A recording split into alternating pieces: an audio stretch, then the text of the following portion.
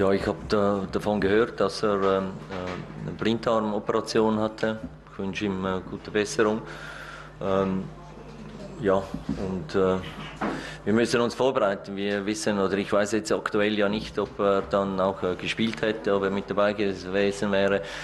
Äh, unser Gegner hat auch genügend Spieler äh, mitgenommen, mit dabei, dass sie dann dementsprechend auch Ersatz mit dabei haben. آه، سمعت الخبر فعلا إن هو تم نقله لمستشفى العمل عم- عملية الزائدة. آه، بتمنى له الشفاء العاجل وإن هو يقوم بالسلامة إن شاء الله.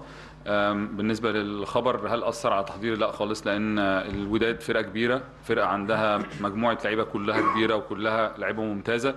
فبالتالي أكيد المدرب جاي بقائمه كبيرة يقدر يعوض أي لاعب ومفيش يعني الفريق الوداد مش اللاعب مش الفريق اللي بيقف على لاعب واحد.